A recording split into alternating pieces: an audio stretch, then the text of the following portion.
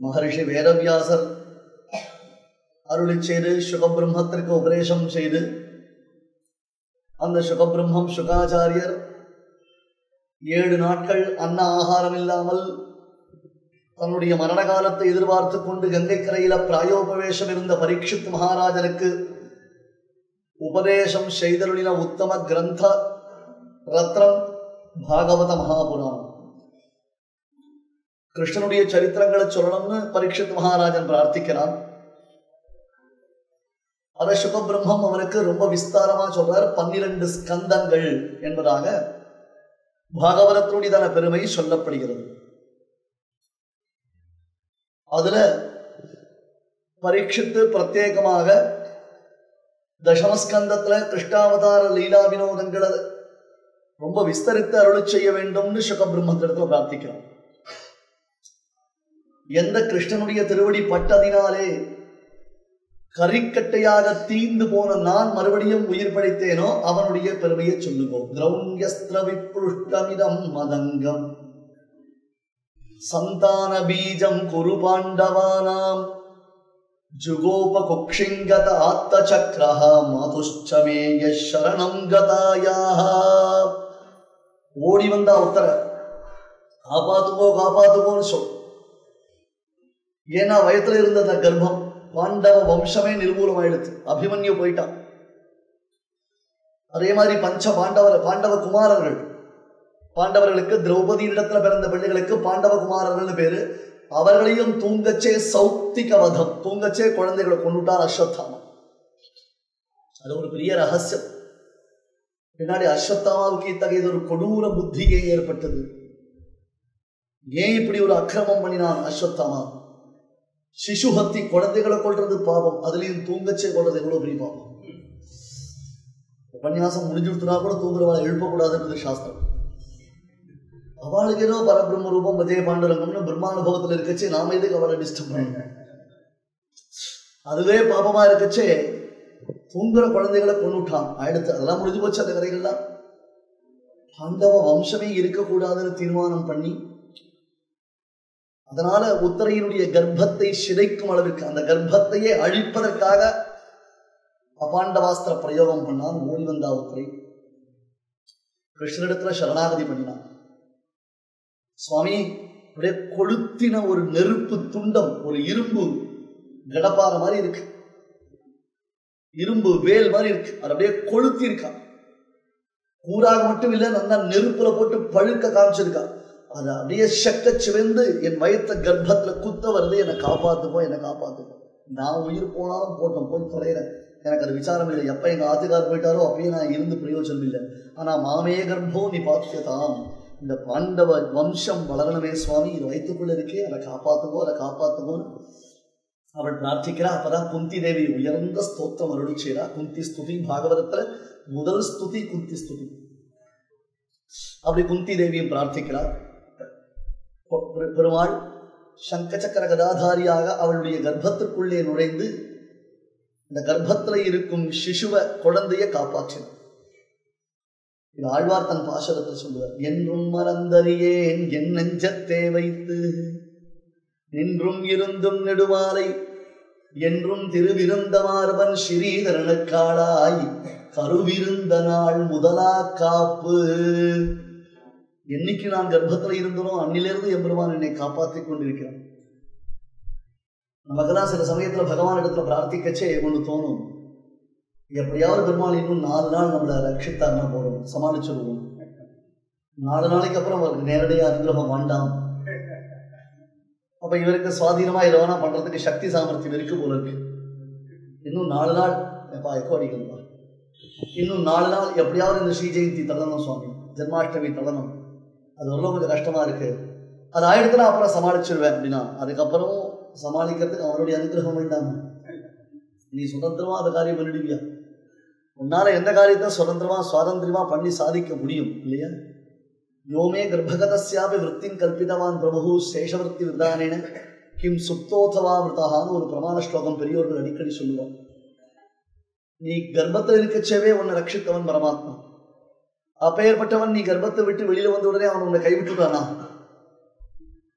நீ கருவை விட்டு வெளியில வந்து உடனே அந்த கருவறைக்குள்ளே இருந்து வெளியில வந்துட்ட.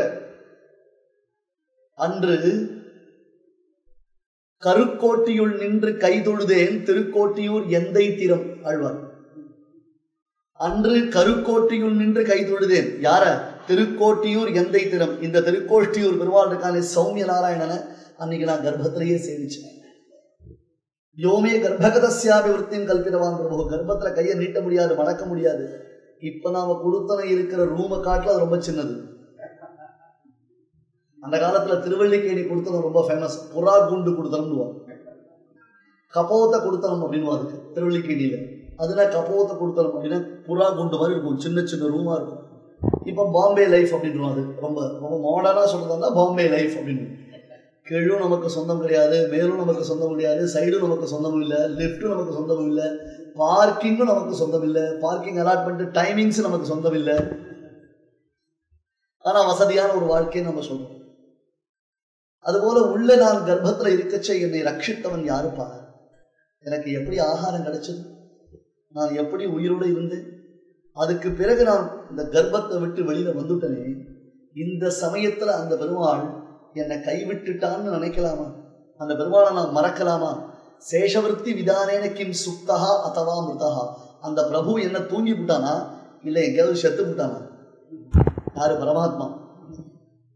ஏன்னா இப்ப உனக்குன்னு ஒரு சுவாதந்திரியம் வந்ததா? நீயே நினைச்சுண்டு உன்னை காப்பாத்திக்கிறதுக்கு நீ முயற்சி பண்ற. கஜேந்திர மோட்சத்துல எவ்வளவோ தத்துவங்கள் இருக்கு.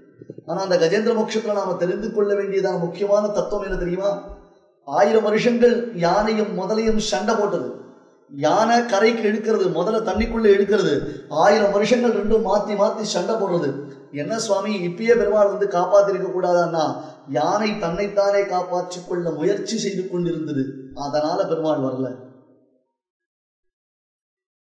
அந்த முயற்சி இல்லை என்னால முடியாது. என்னை ஸ்வரக்ஷனேபி அசக்தசிய என்னையும் என்னால் காப்பாற்றி கொள்ள முடியாதுன்னு ரெண்டு கையை விடணும். அப்படித்தான் திரௌபதியும் முயற்சி பண்ணா. பெருமாள் திரௌபதி சாரீஸ் கொடுக்கல. அவள் தன் மானத்தை காப்பாத்திக்கிறதுக்கு தானே பிரயத்தனப்பட்டா. ஆ ஆன்னு கிட்ட வரல. ஒண்ணுமே நடக்கல. கோபம் வந்தது துச்சாசனுக்கு சபை நடுவில் இவ்வளவு பரிஷ்டனா இருக்கிற ஒரு ஆண்மகனை ஒரு பெண் தன்னுடைய வலுவினால தடுக்கிறதா? கோபம் வந்து அவளுடைய கை மேல பலார் பலார் பலார்னு நாலு அரை வச்சு ரெண்டு கும்பாங்குத்து குத்தினான். வலி பொறுக்க முடியாமல் கைவிட்டா அப்ப பகவான் கிருஷ்ணன் அவளுக்கு மான சம்ரக்ஷணம் பண்ணினான். இரு கையும் விட்டேனோ? திரௌபதியை போல ரெண்டு கையும் கை மு- முடிஞ்சு போச்சு. நான் பிடிச்சு இழுத்துக்கச்சே தான் முடியல. பெருமாள் வரல. அந்த மாதிரி எல்லாத்தையும் விட்டுட்டு அவன்தான் எல்லாம் அப்படின்றதான ஒரு சரணாகதி தத்துவம் இருக்கு. அதுதான் முக்கியம். அவன்தான் அப்படின்றத புரிஞ்சுட்டோம்னு சொன்னா நம்மை நாமே பெருமையா நினைச்சுக்க மாட்டோம். இப்ப எல்லாருக்கும் ஒரு பெரிய பிரச்சனை தெரியும்? எனக்கு ரொம்ப தெரியும் அப்படின்னு ஒரு ஒரு அந்த லுக்கே ஒரு கர்வமா இருக்கும். இன்னொருத்தர் சொல்லும்போது நாம ஒரு நக்கலா ஒரு சிரிப்பு சிரிப்போம். உள்ளுக்குள்ளேயே ஒரு சிரிப்பு. ஏன்னா நம்ம பேர்ல நமக்கு இருக்கக்கூடிய ஒரு ப்ரைடு நம்ம பேர்லயே நமக்கு இருக்கக்கூடிய ஒரு மதப்பு. எல்லாம் தெரிஞ்சு கொடுத்து எல்லாம் தெரிஞ்சு கொடுத்தது. லோகத்துல எல்லாரும் தெரிஞ்சவன் சர்வேஸ்வரனான எம்பெருமான் மட்டும்தான். அவனுக்கு கர்வமே கிடையாது. எதுவுமே தெரியாதவர்கள் நம்மை போன்ற சாமானியர்கள். ஆனா நமக்கு ஒண்ணுமே தெரியாமல் இருந்தா கூட கர்வம் வரும். ஒண்ணுமே தெரியாமல் இருந்தா கூட கர்வம் வருது இல்லையா? அப்ப இங்க உத்தரையும் குந்தி தேவியும் வந்து பகவான் இடத்துல பிரார்த்திக்கிறார். பெருமாள் உள்ள போய் ரட்சிக்கிறார். கர்ப்பத்துக்குள்ளே இருந்து அந்த குழந்தை பரீட்சித் பரீட்சித் விஷ்ணுராதன் என்று பெயர் பெற்றவன். விஷ்ணுராதன்னா விஷ்ணுவினால் ரட்சிக்கப்பட்டவன். திரௌண்யஸ்திர விப்ளுஷ்டமிதம் மதங்கம். திரௌணின்னு பேரு. திரோணஸ்ய அபத்தியம் புவான் திரௌணி. द्रौण्यस्त्र विपृष्टमिदं मदङ्गं सन्तानबीजं कुरु पाण्डवानां जुगोपकुक्षिङ्गतात्तचक्रः மாதுஷ்ட மேய சரணம் கதாயாக எவன் கையில சக்கராயுததாரியாக சக்கரியா இருந்து எனக்கு ரட்சித்தானோ அந்த கிருஷ்ணன் பெருமையை இன்னும் சொல்லுங்க சுவாமி இன்னும் சொல்லுங்க சுவாமி ஒன்பது ஸ்கந்தம் முடித்து பத்தாவது ஸ்கந்தத்தின் போது பரீட்சித் மகாராஜன் கேட்கிறான் அந்த கேள்வியை நடுவுலையும் பல கேள்விகள் கேட்கிறான் அதுக்கு சுகாச்சாரியர் அற்புதமான அந்த கதைகளை சொல்லிட்டு வர இங்க பிரத்யேகமா கிருஷ்ணானுபவம் மட்டுமே அந்த சுகாச்சாரியரால் வர்ணிக்கப்படுகிறது. அப்படி இருந்தும் பாகவதம் முழுக்க கிருஷ்ணன் பாகவதம் முழுக்க கிருஷ்ண தத்துவம் அப்படின்னு நாம சொல்றோம். ஆனா இது எல்லாத்த காட்டிலும் பெருமை வாய்ந்தது எதுன்னா கர்க்க சம்ஹிதை கர்க்க பாகவதம். ஏன்னா அதை யாரும் கேட்கல. கேட்டவர் ஒரு அந்த சரித்திரத்தை கேட்டவர் சுவானுபவத்தினால தானே இந்த கிரந்தத்தை அருளி செய்வார் நாங்கள்லாம் புஸ்தகம் எழுதுவோம். நாங்கள்லாம் புஸ்தகம் எழுதச்சே என்னை சுற்றி இருக்கிறவா என்னை நிறைய கோவிச்சுப்பான் எதுக்காக நீ இப்படி புஸ்தகம் எழுதிட்டு இருக்க? ஏன்னா யாரும் வந்து புஸ்தகம் வாசிக்கிறது இல்லை இப்போல்லாம் ரீடிங் ஹேபிட்டே விட்டு போச்சு ஜனங்களுக்கு. அது தவிர ஜனங்களுடைய அபிப்பிராயம் என்னன்னா எங்களுக்கு தெரியும் நீ எழுதி ஒன்றும் நாங்கள் தெரிஞ்சுக்கணும்னு அவசியம் இல்லை. அப்படின்னு இருக்கலாம். அப்படியே ஒரு மனோபாவம் உண்டு. அப்படி இருக்கச்சே புஸ்தகம் எழுதி வச்சா இந்த பிரசவிக்கிறது பிரஸ் வைக்கிறது. அது ரெண்டும் அனுபவிச்சவனுக்கு மட்டும்தான் கஷ்டம் தெரியும். பிரஸ் வச்சவனுக்கும் அந்த அனுபவம் உண்டு. பிரசவிச்சவாளுக்கும் அந்த அனுபவம் உண்டு. புஸ்தகம் எழுதினா ஆ முழுக்க புஸ்தகம் வச்சிருக்கான்.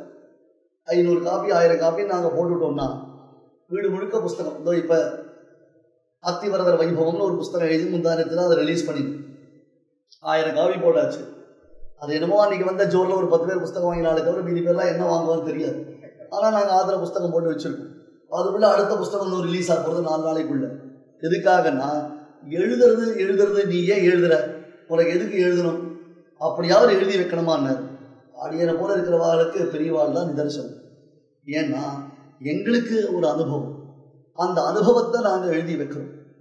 அதில் என்னைக்காவது ஒருத்தா சாரஜ்யம் எதி கஷ்டிதஸ்தி புவனே நாத சயூதஸ்ய ரகா சுவாமி தேசகன் சொல்லுவார் நான் இந்த ரகசியத்திரை சாரம்னு உயர்ந்த கிரந்தம் எழுதி வச்சிருக்கேன் இதில் உள்ளுரை பொருள் அர்த்தங்கள் அநேகம் உண்டு ரொம்ப அபூர்வமான விஷயங்கள்லாம் இதை கொட்டி வச்சிருக்கேன் ஆனால் யார் இதை வாசிப்பான்னு தெரியாது அதுவும் ஆச்சாரியன் மூலமா கூகுள் மூலமா இல்லை ஆச்சாரியன் மூலமா ஒரிஜினலா இதை யார் தெரிஞ்சுப்பான்னு தெரியாது யாராவது ஒருத்தன் ஆயிரம் பேருக்கு நடுவில் ஒரே ஒருத்தன் என்னுடைய இந்த புஸ்தகத்தை ஒரு ஆச்சாரியனிடத்துல விஷயத்தை முழுக்க கிரகிச்சுட்டான்னு சொன்னா நான் அவனை தலை வச்சு கொண்டாடுவேன்டா.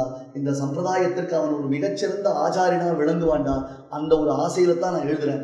ஆயிரம் பேர் படிப்பான்றதான ஆசையை காட்டிலும் ஆயிரம் பேருக்குள்ள ஒருத்தராவது இதை தெரிஞ்சுட்டான்னா போரும் ஏன்னா இதை எழுதி வச்சா தான் பின்னாடி இருக்கக்கூடிய சந்ததிகளுக்கு ஏதாவது ஒரு சந்தர்ப்பத்தில் அது உபயோகப்படும். ரெண்டாவது சுவானுபவம். அந்த அனுபவமாச்சு. தான் அனுபவித்தத மற்றவர்களையும் அனுபவிக்க வைப்பதுதான் ஒரு மிகச்சிறந்த ஆச்சாரியனுடையதான கர்த்தவியம் கடமை. ஆழ்வார்கள் தங்களுடைய பாசுரங்களை ஏற்றினதனுடைய நோக்கம் என்ன அப்படின்னா தங்களுடைய அனுபவ பரிவாகம்னு சொல்லுவான் அந்த அனுபவம் அப்படியே வெளியில வருது. சாதாரணமா போய் கிருஷ்ணா ஸ்வீட்ஸ்ல நம்ம கோகுலாஷ்டமிக்கு ஸ்வீட் வாங்கி இன்னைக்கே சாப்பிட்டுட்டோம்னு சொன்னால் உடனே ஃபேஸ்புக்கில் போட மாட்டோம் நம்ம. டேஸ்டட் எ டேஸ்டி மைசூர் பா அட் கிருஷ்ணா ஸ்வீட் அப்படின்னு போட்டோடனே அதுக்கு ஒரு பத்து லைக் இருபத்தஞ்சு ஷேர்ஸ் வருதா பார்க்கறோமா இல்லையா? ஒரு சின்ன வார்த்தை தான் எழுதுறோம் நம்ம.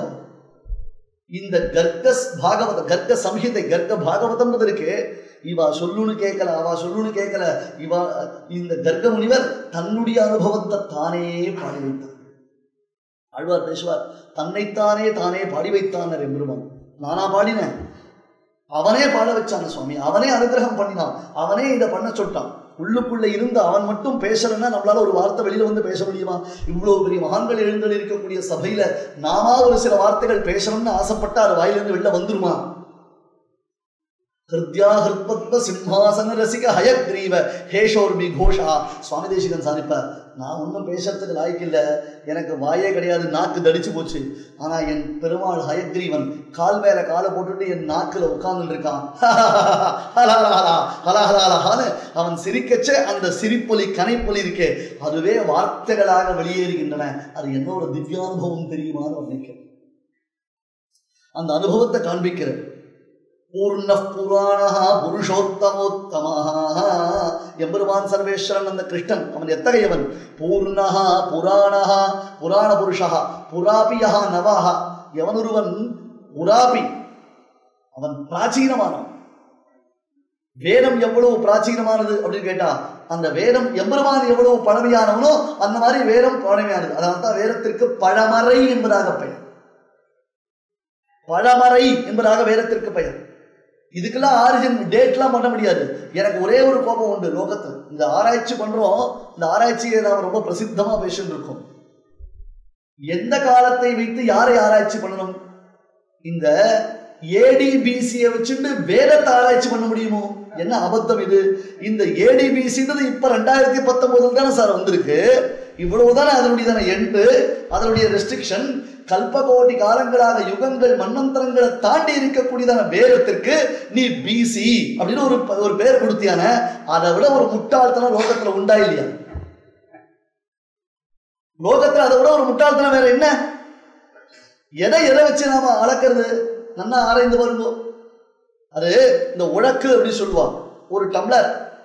நானூறு லாரியில நெல் வந்து கொட்டி வச்சிருக்கான். நானூறு லாரியில நெல் மூட்டை வந்து இறங்கிருக்கு இந்த நெல் மூட்டையில ஒவ்வொரு மூட்டையிலயும் கரெக்டா எழுபத்தஞ்சு கிலோ போட்டு ஏத்திருக்கானா இல்லையா? அதை அளக்கிறதுக்கு எனக்கு ஒரு வழி தெரிஞ்சது. என்ன?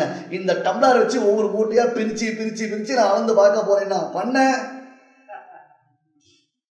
இன்னைக்கு ரெண்டாயிரத்தி பத்தொன்பது அப்படின்னு ஒரு காலம். ரெண்டாயிரத்தி பத்தொன்பது தானே சார்? இவ்வளவு தானே இத வேற காலத்தை வச்சு இது- இதுக்கு வேற காலத்தை வச்சு எப்படி நம்ம ஆராய்ச்சி பண்ண முடியும்? அபத்தம் இல்லாது. எஸ் நிஸ்வசிதம் வேறாக எம்பெருமானுடைய மூச்சு காற்று வேற சுவாமி. சதுர்யுகம்ன்றோம் கிருத்தயுகம் திரேதாயுகம் துவாபர யுகம் கலியுகம்னு சொல்றோம். ஆனா இது எத்தனாவது சதுர்யுகம்? இருபத்தி எட்டாவது சதுர்யுகம். வைவஸ்வத மன்வந்தரே. சுவாரோசிஷமனு சாக்ஷுஷமனு எப்படியெல்லாம் இருக்கு? எத்தனை மன்வந்தரங்கள் இருக்கு? அதுல இருபத்தி எட்டாவது சதுர்யுகம். அதுல ஒவ்வொரு சதுர்யுகத்துல எத்தனையோ அற்புதங்கள்லாம் உண்டு. இந்த பிரம்மருத்ராதிகள்லாம் சேர்ந்து கோலோகதாமத்துக்கு போறா கிருஷ்ணனை பிரார்த்திக்கிறதுக்கு கிருஷ்ணனை சேவிக்கிறதுக்கு. இங்க இருந்த பாகவதத்துல ஒரு சரித்திரம் ஒரு அழகான கதை. பூமியின் பாரம் அதிகமா எடுத்து பூமி தேவி தாங்க முடியல. பூமி பாரத்துக்கு என்ன காரணம்?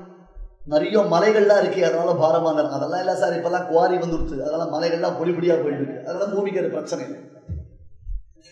நிறைய மல்டி ஸ்டோர் பில்டிங்ஸ் வந்துடுத்து அதனால பூமிக்கு பாரமா அப்படின்னு கேட்டா அதெல்லாம் அப்படி பூமி ஒரு அசைக்க அசைக்கிறாங்கன்னா எர்த்து கேக்கல புத்துரு டப டபல சீட்டு கட்டு மாதிரி விழுந்துரும். இன்னைக்கு கூட அந்த மாதிரி இப்ப ஏதோ எர்த்து கேக்கல் வந்திருக்கு. அந்த மாதிரி அது ஒன்றும் பெரிய பாரம் இல்லை. சரி பெரிய பெரிய மரங்கள் இருக்காது அதை பத்தி கவலையே பட மாட்டேன். நாங்க மரங்கள் வைக்கவும் மாட்டோம் வெச்ச மரத்தை வெட்டாமல் விட்டு வைக்கவும் மாட்டோம். அதனால அதுவும் பாரம் இல்லை. அப்ப என்னதான் பூமிக்கு பிரச்சனை அப்படின்னாரு.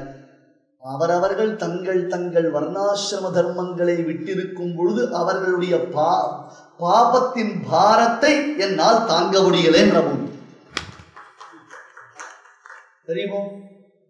அவரவர்கள் தங்கள் தங்களுக்கு விதிக்கப்பட்டிருக்கக்கூடிய தர்மானுஷ்டானம் இருக்கோ இல்லையோ அந்த தர்மானுஷ்டானத்தை விட்டுட்டா அவர்கள் செய்திருக்கக்கூடிய பாபத்தின் பலன் பாரம். என்னால தாங்க முடியல. சந்தியாவந்தனம் பண்ணா ஏதாவது பலன் உண்டா? கிடையவே கிடையாது. ஆஹா தேன் வந்து பாயுது காதில் நான் பல தடவை சொல்லியிருக்கேன். ஒரு சமயம் ஹைதராபாத்தில் உபன்யாசம் பண்ணேன். அப்போ சந்தியாவந்தன மகிமை சொல்லுன்னு சொன்னான் ஒரு உபன்யாசத்துல. சரி சந்தியாவந்தன மகிமை சொல்லலாம்னு அதை ஆரம்பிச்சு சொல்லிட்டு இருக்கச்சே அர்க்கியம் விட்டா இவ்வளோ பலன் அர்க்கியம் விட்டா இவ்வளோ பலன் அப்படின்னு. இந்த மாதிரி ஒரு பயிர் இருந்தான் ஏன் சுவாமி அர்க்கியம் விட்டா இவ்வளோ பலன் சொல்லுவேன் சந்தியாவந்தனத்துல ஒரு போர்ஷன் அர்க்கியம். அதை விட்டாலே இவ்வளோ பலன்னா மொத்த சந்தியாவந்தி விட்டா இவ்வளோ பலன் கிடைக்கணும் அதுல ஒரு போர்ஷன் அர்க்கியம் அதை விட்டாலே இவ்வளவு பலன் மொத்த சந்தியாவந்தி விட்டா இவ்வளோ பலன் கிடைக்கும். அதெல்லாம் நான் பண்ணிட்டு இருக்கேன் நான் சந்தியாவந்தனத்தை விட்டுட்டா சந்தியாவந்தனம் பண்ண பண்ணினா ஏதாவது பலன் உண்டா? கிடையாது. அப்புறம் எதுக்கு பண்ணணும்? சந்தியாவந்தனம் பண்ணலன்னா நமக்கு பாவம் இதுதான் விஷயம். சந்தியாவந்தனம் செய்யவில்லை என்றால் நமக்கு பெரிய பாபம் உண்டு. அப்ப அந்த பாபம் நமக்கு ஏற்படாமல் நம்மை தடுத்து காத்து கொள்ளக்கூடியதான வேக்சினேஷன் இன்ஜெக்ஷன் மாதிரி சந்தியாவந்தனம். எப்படி நமக்கு பின்னாடி அந்த கை கால் இழுப்பு அப்படி சொல்றோமோ இல்லையோ குழந்தைகளுக்கு சின்ன வயசுலேயே இளம்பிள்ளை வாதம் தாக்காமல் இருப்பதற்காக அந்த குழந்தைகளுக்கு ஒரு மருந்து கொடுத்தா அது பிரிகாஷன் அப்படின்னு சொல்றோமோ அந்த மாதிரி நமக்கு பாபம் நேரிடாமல் நம்மை தற்காத்து கொள்வதற்காக நமக்கு கொடுத்திருக்கக்கூடிய ஒரு பெஸ்ட் மெடிசன் எது அப்படின்னு கேட்டா அது சந்தியாவந்தம். ஆகையினால அதை செய்வதனாலே என்ன ஏற்படுகிறது? நம்முடையதான பாபத்தினுடைய கவுண்ட் டவுன் அது ஏறாமல் அது அப்படியே நிறுத்திவிடும். பிராத சந்தியாவந்தனம் பண்ணச்சே யத்வா துஷ்சரிதம் மம ராத்திரிஸ்ததவதம் பது என்பதாக ராத்திரி செய்த பாப்பத்திற்கு இப்ப நான் காத்தால தூங்கி எழுந்து பிராயஷ்சித்தம் பண்ணி அந்த பாப்பத்தை நிறுத்திட்டேன் சூரிய உதயத்திலிருந்து மத்தியான பரியந்தம் செய்யக்கூடியதான பாபத்திற்கு அகஸ்ததவலும் பது என்பதாக மாத்தியானிகத்தினால எனக்கு ஏற்பட்டு இருக்கக்கூடிய பாபத்தை நான் போக்கடிக்கிறேன் இப்படி பிராத காலம் சாயங்காலம் மாத்தியானிக காலம் என்று அந்தந்த சமயத்தில் நாம் செய்யும் பாவங்களுக்கு உடனே உடனே பிராயஷ்சித்தம் பண்ணிடும் நான் பாவம் பண்ணலையே நான் பாவம் பண்ணலையேன்னா? யாரு சொன்னா நீ பாவம் பண்ணலைன்னு? எவ்வளவோ பண்ணிட்டு இருக்கணும். நம்மள அறியாமல் பண்ணிட்டு நான் பாவம் பண்ணலையே என்ன போய் பாப்பின்னு சொல்றீங்க? நான் எங்க பாவம் பண்ணேன் அப்படின்னா இத்தனை ஜீவாத்மா போச்சேடாப்பா? பேசிண்டே பட்டு அடிச்சு அடிச்சு தவறிய.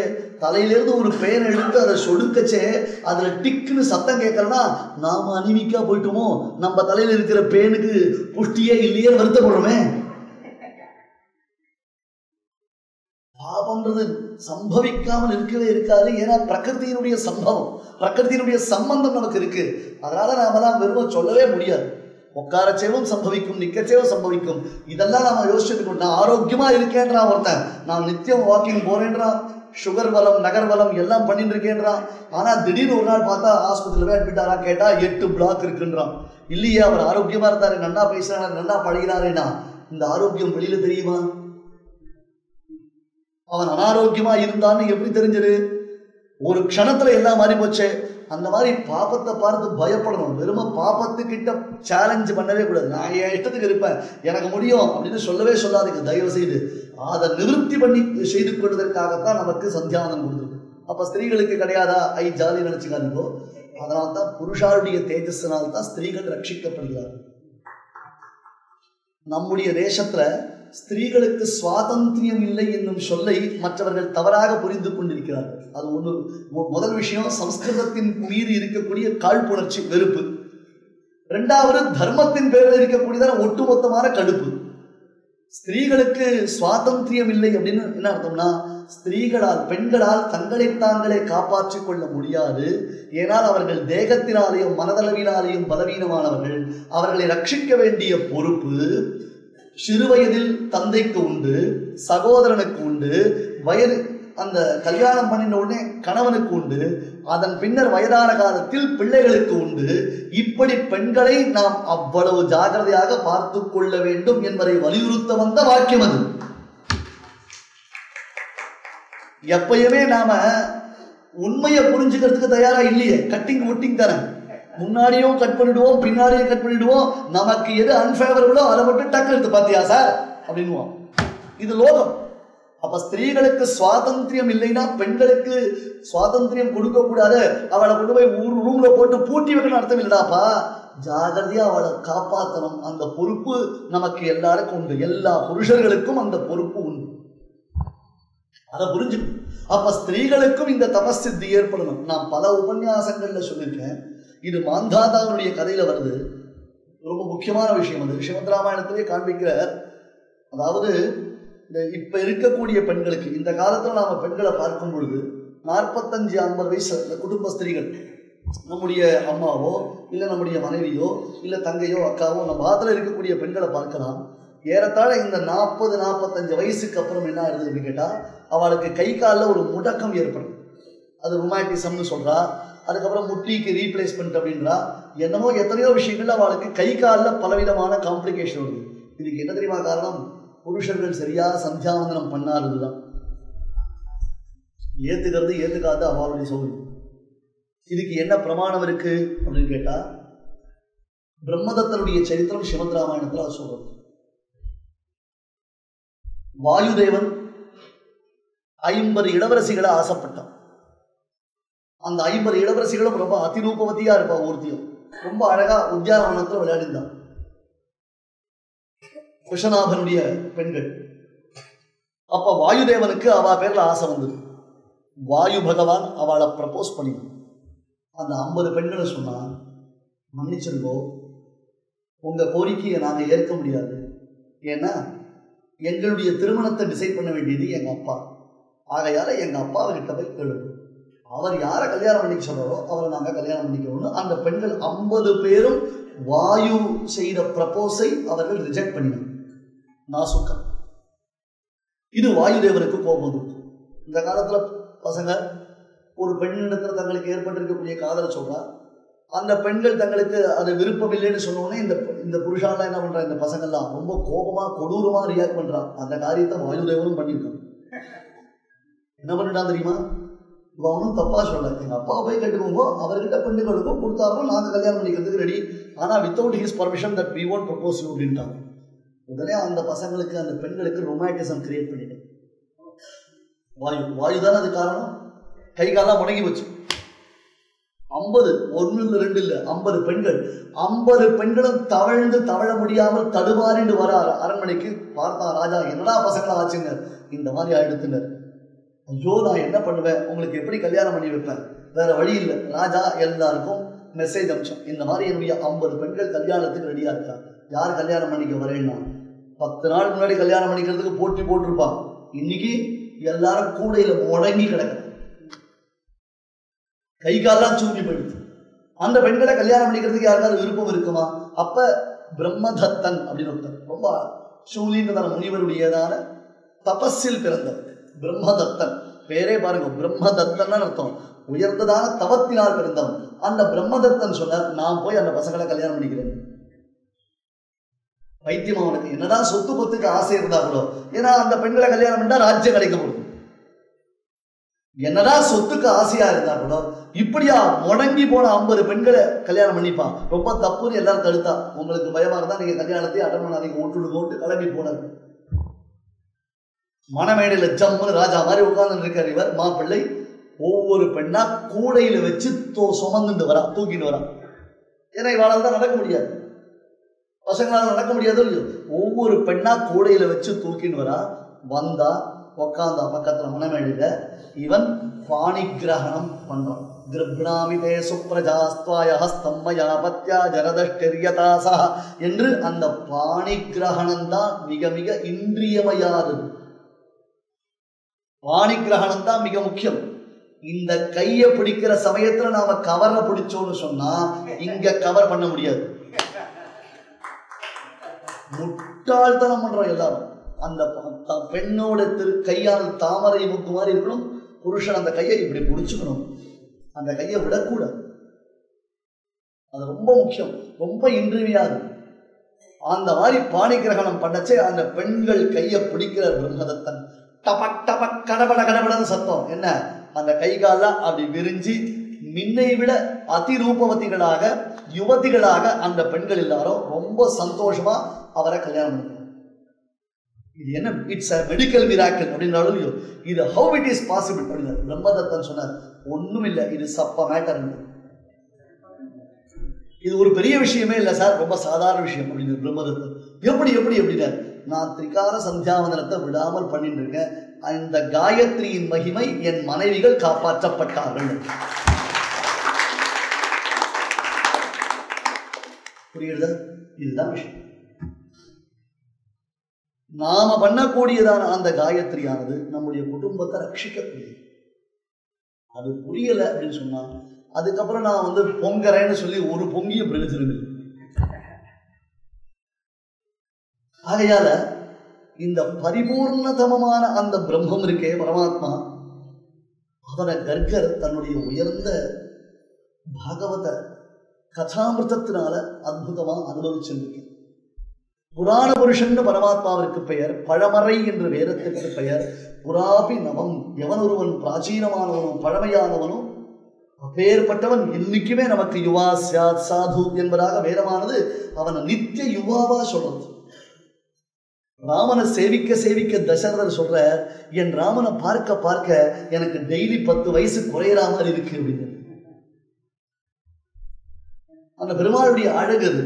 பூர்ண புராணா புருஷோத்தமோத்தமா பராத்மரோய புருஷ பரேஸ்வரா அவன் பராத்மரன் சர்வேஸ்வரன் புருஷன்.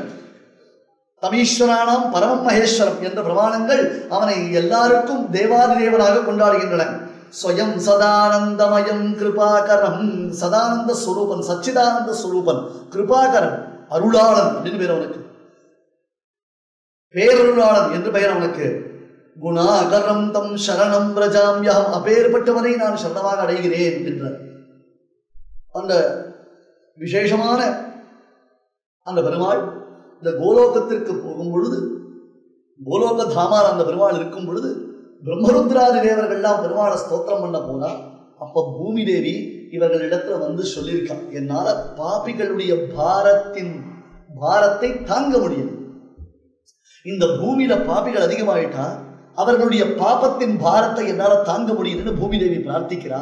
அதுக்காக பிரம்மருத்ராதிகள் போறா கோலோக தாமா அந்த கோலோக தாமால போய் வாசல்ல இங்க இருக்கிறவா நாயகனாய் நின்ற நந்தகோபருடைய கோவில் காப்பானேன்னு பகவானுடைய திருக்கோவில் துவாரபாலகர்கள் இருக்காளே. அவ பிரம்மருத்ராதிகளை பார்த்து கேட்கிறா நீங்கள்லாம் யாருன்னு? அவர் சொல்ற நான் பிரம்மா உன் பரமேஸ்வரன். இவெல்லாம் தேவர்கள். அது சரி. நீ பிரம்மானா எந்த சத்தியலோகத்திற்கு பிரம்மா? நீ ஈஸ்வரன் அப்படின்னு கேட்டா எந்த கைலாய பருவத்திலிருந்து வர? நீ இந்திரன்னா எந்த செக்ஷன் ஆஃப் தேவர்களுக்கு இந்திரன்? பிரம்மா பார்த்தாரு. அப்படின்னா அகிலாண்ட கோடி பிரம்மாண்ட நாயகன் கிருஷ்ணன் கோலோபதாமா இது ஒன்ன மாதிரி ஆயிரம் பிரம்மாக்கள் லட்சம் பிரம்மாக்கள் இருக்கா இந்த லோகத்துல? பகவானுடைய ஒவ்வொரு ரோமக்கால்கள்ல ஒவ்வொரு அண்டபித்தி ஒட்டி கொண்டிருந்தது என்று வராகவதாரத்தை வர்ணிப்பார்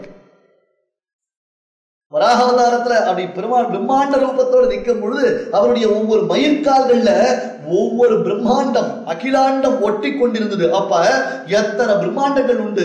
நாம எப்படி இருக்கோம் தெரியுமோ இல்லையோ? அத்திப்பழத்தினுள்ளே உள்ள புழுவை போல இங்க உட்கார்ந்து இருக்கோம் பிரம்மாண்டோ தும்பராந்தர் மசகவதி இவ இப்ப எல்லாம் அத்தி தான் ட்ரெண்டிங் ஆனா ஒண்ணு தெரியுமா உங்களுக்கு? நான் சாஸ்திரம் சொல்றேன்.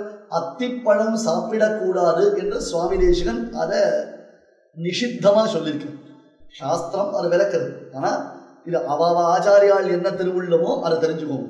ஏன்னா சில தர்மங்கள் சொல்லும் பொழுது ஸ்ருதி ஸ்மிருதி எல்லாமே வித்தியாசமாக சொல்லும். இப்போ அடியன் சில தர்மங்கள் சொன்னேன்னா அது மேபி அது ஸ்ரீவைஷ்ணவர்களுக்கு மட்டும் இருக்கலாம். சில தர்மங்கள் பொதுவாக இருக்கலாம். இப்போ சத்தியம் அப்படின்னா அது எல்லாருக்கும் பொதுவானது இருக்கும். எல்லாரும் சத்தியம் பேசணும். அது ஒன்றும் விப்ரதிபத்தி கிடையாது. எல்லாருக்கும் சத்திய வச்சனம் அப்படின்றது விதிக்கப்பட்டிருக்குது ஆனா தர்மம் சர அப்படின்னு வரச்சே அவரவர்களுக்கு என்ன தர்மமோ அந்த தர்மத்தை தான் ஃபாலோ பண்ணணும். கிரகஸ்தனுடைய தர்மத்தை பிரம்மச்சாரி ஃபாலோ பண்ண முடியாது. பிரம்மச்சாரியுடைய தர்மத்தை சன்னியாசி ஃபாலோ பண்ணக்கூடாது. ஒரு பிரம்மச்சாரி குட்டி பையன் நேற்று முந்தான தாவணி அவட்ட தண்ணிக்கு பார்த்தேன். வெத்தலை பார்க்க போட்டிருந்தாங்க பையன் என்ன அநியாயமா இருக்கு? பிரம்மச்சாரி ஏன்டா இப்படி வெத்தலை பார்க்க போடுற அப்படின்னா சுவாமி பிரம்மச்சாரி கல்யாணம் பண்ணிக்கிறான் அவனை கேட்க மாட்டேன்னு வெத்தலை பாக்க போடுற என்ன கேட்கிறீரேனா நான்? என்ன பதில் சொல்றது அந்த பையனுக்கு? ஆகினால அவரவர்களுக்கு வர்ணாசிரம தர்மங்கள் உண்டு. அவரவர்களுக்கு அந்த ஆச்சாரியால் சொல்லி வைக்கக்கூடியதான சாஸ்திரம் உண்டு. இது போல உபன்யாசங்கள்ல நாங்க சில சாஸ்திரார்த்தங்களை சொல்லும் பொழுது அது யாருக்கு தகுந்தது என்பதை அவரவர்கள் தங்கள் ஆச்சாரியர்கள் மூலமாக உணர வேண்டும். சுவாமி தேசிகன் ரகசிய திரைசாரத்தை ஸ்பட்டமா சாதிச்சிருக்கார். அத்திப்பழம் சாப்பிடாத. ஆனா நமக்கு மூட்டு வலிக்கும் முதுகு வலிக்கும் அத்திப்பழம் தான் வேணுன்றார் அத்திப்பழத்தை விட காயத்ரியை ஒழுங்கா பண்ணி ட்ரை பண்ணி பாருங்களேன். மூட்டு வலியும் சரியா போகும் முதுகு வலியும் சரியா போகும். இல்லையா? அப்ப சுபாஷிதத்துல ஒண்ணு சொன்னா இந்த அத்திப்பழத்துக்குள்ள கொசு இருக்கும். அத்திப்பழத்துக்குள்ள கொசு உட்கார்ந்துட்டு இருக்கும் அதுக்கு வெளி உலகமே தெரியாது. அந்த மாதிரி இந்த பூமி உருண்டையில கொசு மாதிரி நாம உட்கார்ந்துட்டு இருக்கோம் பகவான் அகிலாண்ட கோடி பிரம்மாண்ட நாயகன் எவ்வளவு பெரிய பிரம்மாண்டம் இது? இதுல எத்தனை பிரம்மாக்கள்? எத்தனை பரமேஸ்வரன்கள்? எத்தனை இந்திரன்கள்? எத்தனை தேவர்கள்? எவ்வளவு இருக்கா? நீ எந்த செக்ஷன்ல இருந்து வர? அப்படின்னா பிரம்மா நடுங்கி போட்டார் ஒண்ணும் புரியல. அப்ப மகாவிஷ்ணு கூட வர அவர் சொல்றார் நாங்கெல்லாம் இந்த இடத்துல விசேஷமா மகாவிஷ்ணு திருவிக்ரமாவதாரம் எடுத்தாரோ இல்லையோ இவர் இன்ட்ரோடியூஸ் பண்ணிக்கிறார். திருவிக்ரமாவதாரம் எடுத்த பொழுது அவருடைய திருவிடி சம்பந்தம் பெற்ற அந்த இடத்துல வந்திருக்கும். ஓஹோ நீங்க பாரத வருஷமா? அப்படின்னு அப்படி இருக்கு. அந்த மாதிரி நம்முடைய அந்த இதிகாச புராணங்களும் சரி ஸ்ருதிகளும் சரி அவ்வளவு பிராச்சீனமாய் அது விளங்கும் பொழுது எத்தனையோ கல்பங்கள் யுகங்கள் மனு மன்வந்தரங்கள் இருக்கும் பொழுது இந்த கீமோ கிபியை வச்சு இதை பேசுறது எவ்வளவு முட்டாள்தனம். அது எவ்வளவு முட்டாள்தனம்? பேசணும் கிருஷ்ணனுக்கு முன் கிருஷ்ணனுக்கு பின் கிமு கிபி அப்படி பேசணும் இது சாஸ்திரம். இது நமக்கு விசேஷம். ஆகையால அவன் புராண புருஷன் புருஷோத்தமன் பராத்பரன் என்பதாக சொல்லி நிரபேஷ இவைஷ லீலையா இத இந்த ராதாதேவியை மட்டுமே முன்னிலைப்படுத்தக்கூடியதாகவும் கோலோபதாமத்தில் பிரம்மருத்ராதிகள் வந்து பிரார்த்தித்த காரணத்தினாலே பரிபூர்ணதமமான ஸ்ரீ கிருஷ்ணன் மதுசூதன சரஸ்வதி சொன்னாரே நேற்றைய உபன்யாசத்துல பார்த்துமே கிருஷ்ணாத்பரம் கிமபி தத்துவம் அகம் ந ஜானே. கிருஷ்ணனை காட்டிலும் உயர்ந்த தத்துவத்தை நான் பார்த்ததே இல்லைன்ற. இல்லையா? அப்பேற்பட்டதான் அந்த பரிபூர்ணதமமான அந்த கிருஷ்ணன் தான் அவதாரம் பண்ண போறேன் அப்படின்னுச்சு ராதாதேவி பெருமாளை விட்டு எப்படி பிரியறதுன்னு அவள் யோசிக்கிறான் கிருஷ்ணனை விட்டு பிரிக்கல. மைத்தடம் கண்ணினாய் நீ உண்மனாளனை எத்தனை போதும் பிரிவாற்ற இல்லாயால் இல்லையா? அந்த பிற பெருமாளை விட்டு அவள் பிராட்டி பிரிவாளா? தினத்தரையும் திருமலையும் விடாதவன். விஷ்ணு புராணத்தில் சொன்னார் ராகவத்வே அபவத் சீதா ருக்மிணி கிருஷ்ண ஜென்மணி அந்யேஷ்வபிச்ச அவதாரேஷு. இவன் ராமன் என்றால் அவள் சீதை. அவன் கிருஷ்ணன் என்றால் அவள் ருக்மிணி. தேவத்தே தேவதேவேயம் மனுஷ்யத்தேச்ச மானுஷி. அவன் தேவனாக பிறந்தால் இவள் தேவியாகவும் அவன் மனுஷனாக பிறந்தால் இவள் மானுஷியாகவும் பிறக்கிறான் எம்பெருமான விட்டு கொடுக்காதவன். இவனும் அவளை விட்டுட்டு வர மாட்டான். அவளும் இவரை விட்டு பிரிக்க மாட்டான். அப்ப ராதாதேவி என்னை விட்டுட்டு போறேடான்னு கேட்கிறான். உன்னை எப்படி நம்ம விட்டுட்டு போவான்? வாமனாவதாரத்திலேயே உன்னை அடிச்சுன்னு போனவனாச்சு என் நைஷ்டிக பிரம்மச்சாரி அலாங் வித் இஸ் ஒய்ஃப் தானே? உன்னை எப்படி என்னால் விட்டுட்டு போக முடியும்? அப்படின்னா அதை சுவாமி தேசிகன் காண்பிக்கிறார். இந்த ராதா நீளை முதலான தத்துவங்கள் இருக்காளே. ஹ்ரீஷ்டதே லக்ஷ்மீஷ்ட பத்யோ வேதம் சொல்லித்து ஸ்ரீ பூமி நீலா சமேதன். பகவான ஸ்தோத்திரம் பண்ணச்சே. ஸ்ரீ பூமி நீலா சமேத ஸ்ரீ லக்ஷ்மி நృசிம்மசுவாமி என்று பெருமான ஸ்தோத்திரம் பண்ணு. நிரபேக்ஷைவைஷ நீளயா ரசிக பாலிகயா சராதயா. பிருசுகத்ர கிமே ததுச்சதே. குஹக கஷ்டிதசௌ குலஸ்ய அந்த ஷாலி பாலிகா வய- சம்பா பயிரை காப்பாற்றுபவள் காவல் கன்னி. அவளிடத்துல கிருஷ்ணன் வியாமோகம் கொண்டு சென்றதை பார்த்த பொழுது கோபிகள் சொல்றா இவன் நீளையை விடுத்தான் ராதையை விடுத்தான். அந்த பெண்ணு பின்னாடி போயிட்டாங்க சரி இவள்லாம் யாரு? எங்க இருந்து வந்தா? அப்படின்னு தேவகி தனுஜஸ்தனு தேவகி தனுஜஸ்தூனாம் திவ்யம் தாம பிரஜாங்கணம் பெருமாள் தேவகியின் வயிற்றில் வந்து பிறந்தான். அவன் வ- வசிக்கக்கூடிய இடம் இது. திவ்யம் தாம பிரஜாங்கணம் அவன் வைகுண்ட லோகத்தில் வைகுண்டபதியானவன் இப்ப பிரஜபூமிக்கு வந்துட்டான். இந்த பிரஜபூமியை குறித்து ஒரு அற்புதமான கதை கர்க்க பாகவதத்தில் சொல்லப்படுது ஏன் கிருஷ்ணனுக்கு இந்த பிரஜபூமியில அவ்வளவு ஈடுபாடு? அங்கதான் கங்கை யமுனை இவெல்லாம் பேச போறான் தீர்த்தராஜனான அந்த பிரயாகத்துல இத பத்தி பேச போறான் தேவகி தனுஜஸ்தூனா திவ்யம் தாம பிரஜாங்கணம் ரமா ராதாதயச்சேதை தாசி பேதைர்ன வித்யதே. ரமா ராதாதயச்சேதி ரமான பிராட்டி அவளே ராதையாரா அவளே நீளையாகிறாள் அவளே ருக்மிணி பிராட்டி ஆகிறாள் ஆகாரத்ரய சம்பன்னா அரவிந்த நிவாசினி அசேஷ ஜெக ஜெகதீஷித்ரீம் வந்தே வரதவல்லபாம். அந்த வரதராஜ பெருமானுடையதான திவ்ய மகிஷியார் மூன்று நிலைகளை தானே வெளிப்படுத்தக்கூடிய பெருந்தேவி தாய். ஆகாரத்ரய சம்பன்னாம். அந்த ஒரே பிராட்டி. பாஞ்சராத்திர ஆகமங்கள்ல சாஸ்திரங்கள்ல சொல்லும் பொழுது பிராட்டியினுடைய நிலைப்பாடு லயார்ச்சை போகார்ச்சை காம்யார்ச்சை என்று சொல்லுவார். பகவானுடைய திருமார்புல மகாலட்சுமி டாலர் தொங்கும். தெரியுமோ? ஆத்துக்காரி படத்தை ப்ரொஃபைல்ல வச்சுக்கிறதுல நமக்கு நினைச்சிட்டு இருக்கோம். பெருமாள் இங்கேயே வச்சுட்டு இருக்கு திருமார்புல நாச்சியாரோட தான் பெருமாள் சேவை சாதிப்பார். அது என்ன? திருமார்பு நாச்சியார். அடுத்தது ரெண்டு பக்கம் ஸ்ரீதேவி பூமி தேவி என்பதாக உபய நாச்சிவார் அடுத்தது தனிக்கோயில் தாயார் என்பதாக கோவில்களில் போகணும்னு சொன்னா தாயாருக்கு தனி சந்ததி இருக்கும். இப்படி ஒரே தேவிதான் ஒரே பிராட்டித்தான். ஆனால் அவள் மூன்று ரூபங்களில் மூன்று சொரூபங்களில் சேவை சாதிக்கிறாள். இப்ப அவளேதான் அதே பிராட்டித்தான் ராதா என்றும் ரமா என்றும் ரமானா ருக்மிணி நீலா என்றும் அவள் சேவை சாதிக்கிறாள். இப்ப கர்க்க பாகவதம் எதை முன்னிட்டு கொண்டு பேச வந்தது அப்படின்னு கேட்டா ஏன்னா பாகவதத்தில் ருக்மிணி பிராட்டியுடைய திருக்கல்யாணம் அற்புதமா வர்ணிக்கப்பட்டாச்சு. பாகவதத்துல ருக்மிணி பிராட்டியை நன்னா சொல்லிட்டார் ஜம்முன்னு சொல்லியிருக்காரு எப்படியெல்லாம் சொல்லியிருக்காரு ருக்மிணி பிராட்டிய கோமாயவன் மிருகபதேகே பலிபம்புஜாட்சன் அந்த ருக்மிணி பிராட்டி அழகான சந்தேஷம் எழுதி கிருஷ்ணனை வரவித்தாள் அல்லவா அந்த விசேஷத்தை காண்பித்தாள் அல்லவா இந்த இந்த சம்ஹிதையினுடைய பிரபாவத்தை சொல்ற இந்த சம்ஹிதை எத்தகையது? இதனுடைய மேன்மை எத்தகையது அப்படின்னு கேட்டார். பிரதுபா பிரதிபாகு அப்படின்னு ஒரு அரசன். அந்த பிரதிபாகுங்கிற அரசனுக்கு மாலினி என்பவள் ஒரு மனைவி. ரொம்ப ஆச்சரியகரமா அவள்லாம் பிரஜமண்டலம் இந்த மதுரா மண்டலத்தை ராஜ்ய பரிபாலனம் பண்ணிட்டு இருக்கா ஒரு பெரிய குறை மன்னனுக்கு என்ன குறை? புத்திர சந்ததி இல்லை.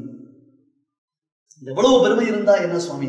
ஒன்று இருக்கணும். என்னது? புத்திர சந்ததி இருக்கணும் பும்நாம நரகாது திராயத்தை எதி புத்திரா தன்னுடைய வம்சத்தை காப்பாற்றக்கூடியது இவன் ரொம்ப வருத்தப்படும். ஏன்னா என்னுடைய பித்திருக்கள்லாம் அழகாள் அவளுக்கு நான் வெந்நீரைத்தான் கொடுக்குறேன். என்ன? நம்ம பித்திருக்கள் நம்ம கிட்ட எதிர்பார்க்கிறது என்ன தெரியுமா? ஏழு எள்ளு. அது கூட ஒரு கிலோ கூட கேட்கல ஒண்ணு. ஒரு அமாவாசை ஒரு மாசவரப்போ ஒரு பருவமோ ஒரு கிரகணமோ வந்ததுன்னு சொன்னா அவளுக்கு நாம சமர்ப்பிக்க வேண்டியது ஒரு ஏழே ஏழு எள்ளு. அப்படி எள்ளு எள்ளி அள்ளி அதை இறக்கக்கூடாது அந்த லுப்த பிண்டோதக கிரியாக பித்திருக்களுக்கு நாம் சமர்ப்பிக்க வேண்டியதை விட்டதினாலும் ஏன்னா அடுத்த சந்ததி இல்லை. அந்த சந்ததி இருந்தாலும் அவர்கள் இது போல சத்கர்மாக்களை செய்வார்களா? அவளுக்கு இந்த ஸ்ரத்த இருக்குமா? இப்ப எல்லாத்துக்கும் சார் ரெண்டு லட்சம் ரூபாய் சம்பளம் கொடுக்குறான்னா நம்ம இதெல்லாம் சாக்ரிஃபைஸ் பண்ணணும் சார் இன்னும் எதுக்கு முக்கியத்துவம் கொடுக்கணும்னு நமக்கு தெரியல பத்தியலா எதுக்கு ப்ரையாரிட்டிஸ் பண்ணணும்னு தெரியல பத்தியடா. ஒரு கம்பெனியில் எனக்கு மந்த்லி டேர்ன் ஓவர் ரெண்டு லட்சம் ரூபாய் சம்பளம் கொடுக்குறான்னு சொன்னால் அப்போ தர்மத்தை விட்டுடணும் சார். இதெல்லாம் பண்ண முடியுமா? நான் தான் பசுமாட்டுக்கு அகத்திக்கீரை வாங்கி கொடுத்துட்றேனே. வேறு பாடசாலைக்கு அப்பப்போ சாப்பாடு போட்டுடுறேனே. இதெல்லாம் பண்ணு. ஆனால் அது கர்த்தவியம். நீ நீ வேலை செய்கிற ஆஃபீஸில் ஒழுங்காக டியூட்டிக்கு போகாமல் நான் ஓவர் டைமுக்கு மட்டும் வரேன்னு சொன்னால் உதைக்க மாட்டான்? நீ டியூட்டி பாரு. அப்புறம் ஃபர்தரா ஓட்டி பாரு. டியூட்டி பார்க்காமல் ஓட்டி பார்த்தா ஓட்டி விட்டுடுவான். ஒன்னாங்க உட்கார வைப்பானோ? நாம இந்த பணத்தின் மேல எப்ப நமக்கு மோகம் ஏற்பட ஆரம்பிச்சதோ அப்பயே மொத்தத்தையும் விட்டுண்டே வரும். விடுறது மட்டும் இல்ல அதுக்கு நாமளே ஒரு சமாதானம் சொல்ல ஆரம்பிச்சிட்டோம். அந்த சமாதானத்தை ஏற்றுக்கணும்ன்ற நிர்பந்தத்தை நம்ம உருவாக்கிட்டோம். இதுக்கு இந்த சமூகத்தை தவிர்த்து நம்ம வேற யாரையும் தப்பு சொல்ல வேண்டிய அவசியம் கிடையாது. இதுக்கு முழுக்க முழுக்க யாரு பொறுப்பேற்கணும் அப்படின்னு கேட்டா நாம தான் பொறுப்பேற்கணும். வேற யாரையும் பொறுப்பாக்க முடியாது. பொறுப்பாக்க கூடாது. ஏன்னா இதை விடுறது யாரு? நாம தானே. ஏன் விட்டோம்? பேராசை. நம்முடைய பேராசை தான் சுவாமி காரணம் அதுக்கு. வாழ்க்கையினுடைய நிறைவே இல்லாமல் போச்சு. ரெண்டு லட்சம் என்ன? அஞ்சு லட்சம் கொடுத்தா கூட நாம என்ன வேணா விட்டுருவோம். அஞ்சு லட்சம் கொடுத்தா பொண்டாட்டி பிள்ளைகளை கூட விட்டுருவோம். அதை கூட விடுவோம் கேவலம் எதுக்கு முக்கியத்துவம் கொடுக்க ஆரம்பிச்சிட்டோம்? பணத்துக்கு முக்கியத்துவம் கொடுக்க ஆரம்பிச்சிட்டோம். லோகம் அப்படி போயிடுது அவன் சொன்னா என்னுடைய எனக்கு சந்ததி இல்லை. என்னுடைய பித்திருக்கள்லாம் அடிக்கடி சொப்னத்துல வந்து அழறா. டேய் உனக்கு அப்புறம் யாரா இருக்கா? ஒரு எள்ளும் தண்ணியை இறைக்கிறதுக்கு உனக்கு அப்புறம் யார் இருக்கா? என்ன பண்றதுன்னு தெரியலையே சுவாமினா நாரத முனிவரை பிரார்த்திக்கிறான். நாரதர் சொல்றார் கர்க்க பாகவதம் பாராயணம் பண்ணுங்க. சந்ததி விருத்தியாகும்டா கிருஷ்ண பக்தியோட சந்ததி வேணும்னா வெறுமை இல்லை. எனக்கு பிள்ளை பிறந்துட்டா போறாது. அந்த அந்த பிள்ளை அந்த பிள்ளை கிருஷ்ண பக்தியில் இருக்கணும். தெரியுமா? எங்களுக்கு பிள்ளைகள் பிறக்க வேண்டாம்னு நம்ம பித்திருக்கள்லாம் சொல்லுவாளா சுவாமி எவனுக்கு கிருஷ்ணனிடத்துல பக்தி இல்லையோ அத்தகையது ஒரு பிள்ளை எங்கள் குலத்தில் எங்களுக்கு பிறக்க வேண்டாம். ஒருவேளை ஒரு பிள்ளை பிறந்து அவன் கிருஷ்ண பக்தி இல்லாமல் இருந்தானேயானால் அவன் எங்காவது போய் தொலையட்டும் இல்ல செத்தும் போகட்டும் நாங்க கவலைப்படலேன்றான். ஆஜன்ம மரணம் எஸ்ய வாசுதேவோன தெய்வதம் மாஜனிஷ்ட சனோவம்சே வாசுதேவ ஜனித்வா திராக் எங்கள் குலத்தில் பிறந்த ஒரு பிள்ளை கிருஷ்ணபக்தியே இல்லாமல் இருந்தாரேயானால் ஓ கிருஷ்ணா அத்தகையதொரு பிள்ளை எங்களுக்கு பிறக்க வேண்டாம். எங்க குலத்துல அப்படி ஒரு பிள்ளை பிறக்க கூடாது ஒருவேளை அந்த மாதிரி ஒரு பிள்ளை பிறந்துட்டான் இந்த பிரார்த்தனைக்கு முன்னாடியே அப்படி ஒரு குழந்தை பிறந்துட்டான் அப்படின்னா வேண்டாம். அவன் எங்கேயாவது போட்டான் எப்படியாவது போகட்டும். எப்படியாவது போட்டோம். போகட்டும் எங்களுக்கு அவனுக்கு என்ன சம்பந்தம்? எங்களுக்கு அவனுக்கு என்ன சம்பந்தம்? அப்படின்றாலும் யாரு?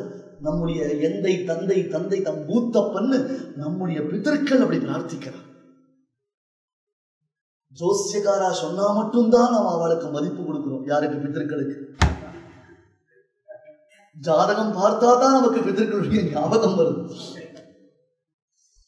அந்த ஞாபகம் நமக்கு வருது. அப்ப நாரதர் சொல்றார் ஸ்ரீ கர்க்க சம்ஹிதாயாச்ச தினானாம் நியமோ நகி. ரொம்ப விசேஷம் தெரியுமா? பாகவதம்னா சப்தாகம் மாதிரி ஒரு விதி இருக்கு. ஸ்ரீமத் ராமாயணம்னா நவாகம்னு ஒரு பட்டன விதி இருக்கு. அதுல சுந்தரகாண்டம்னா எப்படி படிக்கணும்னு விதி இருக்கு. ஆனால் கர்க்க பாகவதம் எப்படி சேவித்தாலும் உனக்கு பலன் கொடுக்கும். கர்க்க பாகவதம் உனக்கு எப்படி சேவித்தாலும் பதில் கொடுக்கும். ஸ்ரீ கர்க்க சம்ஹிதாயாச்ச தினானா நியமோ நகி. இத்தனை நாட்களுக்குள்ள படிக்கிறோம். இவ்வளவு சர்க்கம் படிக்கிறோம். இப்படி படிக்கிறோம். அப்படிலாம் இல்ல. வச்சுக்கலாம். அது ஒரு ஒரு பிரதிஜையா வச்சுட்டு நித்தியம் நான் சர்க்கம் படிக்கிறேன். நித்தியம் ஒரு ஆயிரம் ஸ்லோகம் படிக்கிறேன். அப்படின்னா அது சந்தோஷம் தான் சர்வதா சிரவணம் சோக்தம் புக்தி முக்திதம் பலம் தரு அது சர்வதா எப்பொழுதும் கேட்டுட்டே இருக்கு. உனக்கு வாசிக்க வரலையா? நன்னா ஒருத்தர் சேவிக்கும் பொழுது அதை சொல்லும் பொழுது உட்கார்ந்து ஆனந்தமா கேளு. சர்வதா சிரவணம் சோக்தம் புக்தி முக்தி கரம் கலவு நமக்கு சமஸ்த விதமான பலன்களையும் இந்த கலியுகத்தில் அளிக்க வல்லது. எது? கர்க்க பாகவதம் கர்க்க பாகவதம் அப்படின்னு நாரதர் சொல்றார். அதன்படி இவன் விசேஷமாக இவனும் இவனுடைய மனைவி மாலினியும் விசேஷமாக இந்த விரதானுஷ்டானங்கள் செய்கிறார்கள். அவர்களுக்கு ஒரு சத்சந்தான பிராப்தியானது உண்டாகிறது. அந்த குழந்தை பிறக்கிறான் என்று பாகவத மாகாத்யம் கர்க்க பாகவதத்துடைய மாகாத்யம் சொல்லப்படுகிறது. நேற்றைய தினம் உபன்யாசத்தில் நாம் அத்தியாச்சரியமாக பலராமன வியாசர் ஸ்தோத்திரம் பண்றதை சேவிச்சோம். ரொம்ப அழகா பலர வியாசர் பலராமன ஸ்தோத்திரம் பண்றதுக்காகவே அங்க வந்தோம்.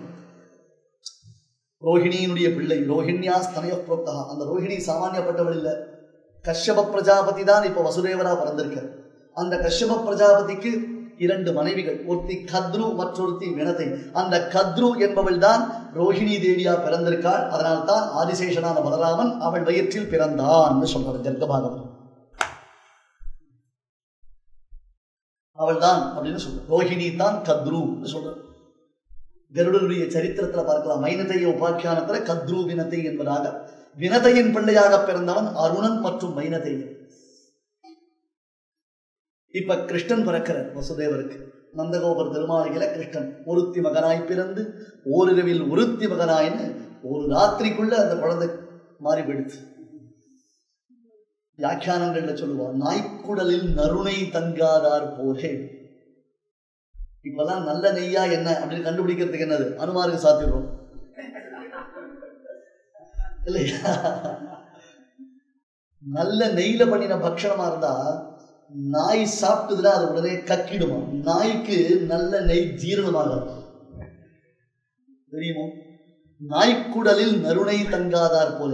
நல்ல நெய் நல்ல தயிர் நல்ல வெண்ணெய் நல்ல பால் நாம எல்லாத்தையும் சாப்பிட்டுருந்தோம் சௌக்கியமாக இருந்தோம் ஆரோக்கியமாக இருந்தோம் ஒரு குறவும் இல்லாமல் இருந்தோம். இது ஃபேட்டு அது உடம்புக்கு ஒத்துக்காது அப்படின்னு எவனோ ஒருத்தன் தனக்கு மார்க்கெட்டிங் ஸ்ட்ராட்டஜிக்கோசரம் இப்படி ஒரு பொருளையை கலப்பி விட்டு நெய் சாப்பிடாத வெண்ணெய் சாப்பிடாத தயிர் சாப்பிடாத எண்ணெய் தடவிக்காத எண்ணெய் தேய்ச்சிக்காதன்னு சொல்லி ஒட்டு மொத்தமாக நம்ம தலையை தடவின்னு இருக்கானே இன்னும் கூட நம்ம உணர்ச்சியே இல்லாமல் தான் இருக்கும். எனக்கு ரொம்ப ஆச்சரியமா இருக்கும். என்னன்னா ஒரு எண்ணெயை விற்கிறான் இது எண்ணெயை தடவிண்டா அவங்களுக்கு மண்டையில நிறைய முடி வளரும் அப்படின்னு. அந்த எண்ணெய் எங்க தயாராகுதுங்க? அமேசான் காட்டு மூலிகையை கொண்டு அந்த எண்ணெயை தயார் பண்றாங்க. நான் கூட கூகுளில் போய் அமேசான் காட்டில் யார் இருக்கான்னு பார்த்தேன். அங்கே இருக்கிறவனா மொட்டை தலையோடு இருக்கான் அப்புறம் இவனுக்கு ஃபோன் பண்ணி கேட்டேன். ஏண்டா உன் எண்ணெயை தடவிண்டா முடி கொட்டாதுன்னு சொன்னீங்க. அந்த ஊரில் இருக்கிறவன் தான் மொட்டை தலையாக இருக்கான் ஆமாம் சார் அவனுக்கு முடி கொட்டல பாருங்கோ. நான் அதுதான் சொன்னேன். என் எண்ணெயை வாங்கி தேய்ச்சிட்டேன்னா முடி கொட்டாதுன்னு சொன்னேன். அதான் கொட்டலையே. இப்படி இருந்தா எப்படி கொட்டும்? எவ்வளவோ முட்டாள்தனம் பண்றோம். நம்ம பெரியவாளுடைய நாகரீகத்தெல்லாம் அவர் எல்டர்ஸ் ஆர் ஃபூல்ஸ் அப்படின்னு அவளுக்கு ஒரு முத்திரையை கொடுத்து ஓரமா வச்சுட்டு கேவலம் ஆங்கில பாஷையினுடைய மோகத்தினால் நாம நம்முடைய தர்மத்தையே இழந்துட்டு வரணும் அந்த ஒரு லாங்குவேஜ் அது அடிக்கடி நான் சொல்றது அது ஒரு மொழிதானே தவிர்த்து அது ஒரு ஞானம் இல்லை. ஆனா கேவலம் அந்த மொழியை நாம பெரிய ஞானமா நினைச்சுட்டோம்.